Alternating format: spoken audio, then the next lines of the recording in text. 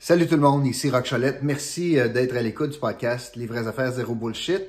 Merci aussi de vous abonner à notre chaîne. Merci de partager la vidéo.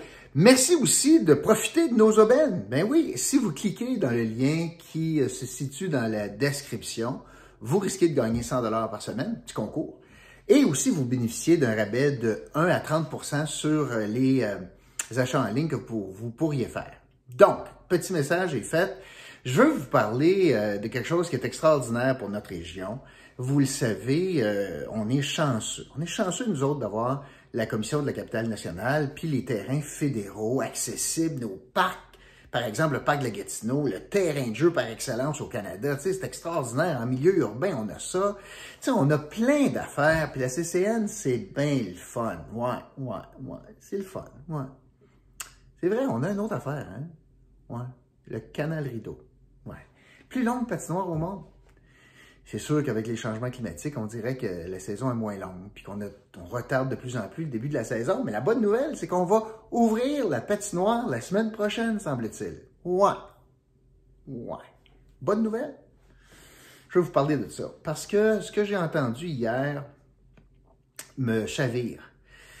Autant que le rôle de la Commission de la capitale nationale, c'est un rôle important chez nous, autant que je pense qu'il y a une totale déconnexion avec la population et l'obligation de rendre des comptes et les notions de saine gouvernance. Je vais m'expliquer. J'espère que je me trompe dans ce que je vais vous raconter.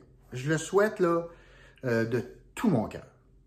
Mais ce que j'entends, suite euh, à une euh, déclaration de son premier dirigeant, c'est le fait qu'on va ouvrir le canal Rideau la semaine prochaine, mais en lien avec les contraintes euh, socio-sanitaires de l'Ontario, on va ouvrir le canal, mais pas à tout le monde. On va ouvrir le canal pour les gens qui vivent proches du canal. Un peu en lien avec ce que M. Ford a dit, sortez dehors, jouez dehors, mais restez proche de chez vous.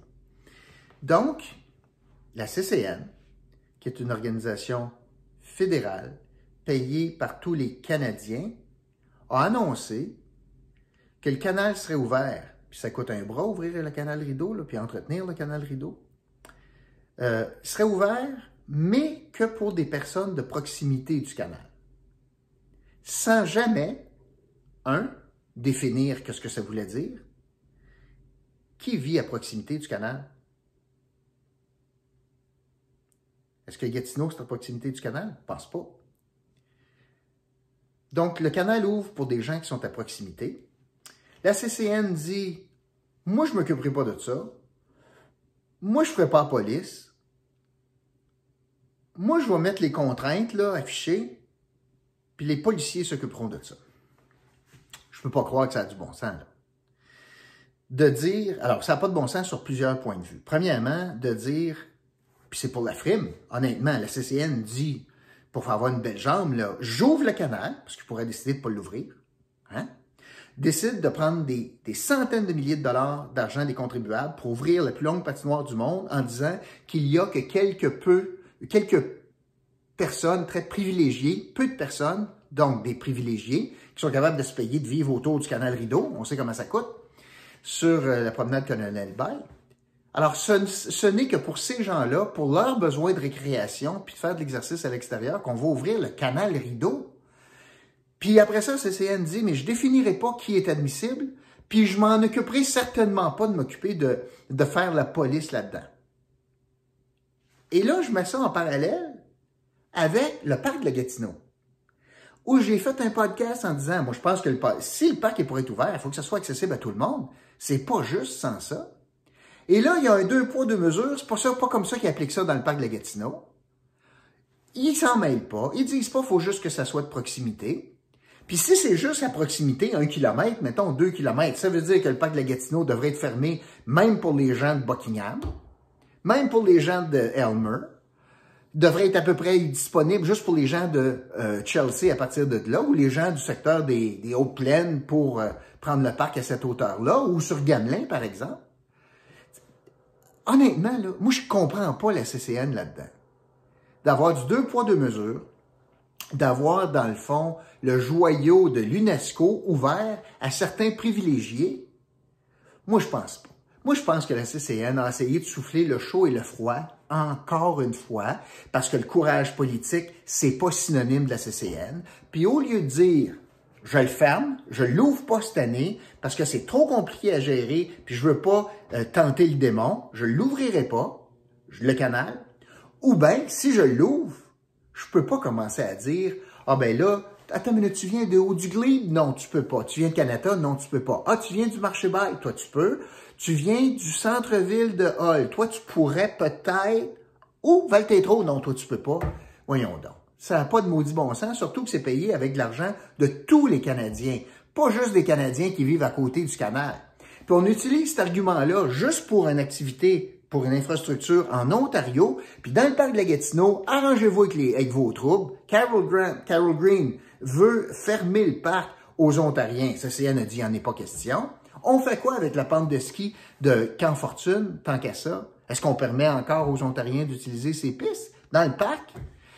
honnêtement, là, je peux pas comprendre comment la CCN a pu arriver à cette conclusion-là, dans le fond, en se disant, je vais dire ce qui est politically correct pour pas faire de peine à Doug Ford.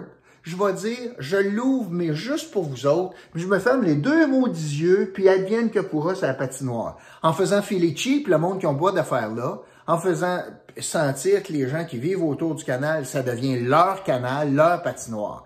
Quand tu veux semer la zizanie dans la société, dans la communauté, c'est ça que tu fais comme une instance gouvernementale. Tu dis, arrangez-vous avec vos troubles, moi je m'en sac, puis à la limite, les policiers, comme s'ils n'ont pas d'autre chose à faire que de vérifier l'adresse du monde qui patine sur le canal Rideau. En tout cas, je trouvais que c'est une annonce épouvantable qui a été faite. Moi, j'aurais aimé mieux, tant qu'à avoir des folies de même, j'aurais aimé mieux qu'ils ne l'ouvrent pas. Ou ben non, dire, moi, je suis une instance fédérale, c'est un parc de, d'attraction ou une attraction nationale payée par tout le monde. Je vais appliquer des mesures de distanciation, je vais appliquer des mesures de sens unique. Euh, on, va, faire une clôture dans le milieu, à droite. Peut-être qu'il faut d'ouvrir les 7 km. Je vais forcer les gens à, mettre des masques, ça sera le cas d'ailleurs. J'ai déjà enlevé les cantines pour manger. Tu pourras pas mettre tes patins à l'intérieur. Peut-être qu'on peut s'organiser pour éviter d'avoir trois ou quatre personnes sur le même banc. Tant qu'à l'ouvrir, ben, ouvre-les pour que ce soit au moins... D'ailleurs, de toute façon, le gouvernement Ford dit que tu peux être jusqu'à 5 dehors à l'extérieur. Mais voyez-vous comment c'est incohérent tout ce qu'on vit? Puis c'est ça qui crée de la frustration. Puis la CCN, là, elle vient de contribuer encore davantage par son manque de pragmatisme puis son manque de connectivité avec ce qui se passe sur le vrai terrain, malheureusement. Puis pourtant, Dieu sait qu'il est utile pour nous, ici à Gatineau, la CCN. Mais euh, honnêtement, quand tu l'échappes, tu l'échappes. C'est ce qui est arrivé cette fois-ci. Merci beaucoup. Je vous retrouve bientôt pour un autre podcast, Les vraies affaires, zéro bullshit. Salut tout le monde.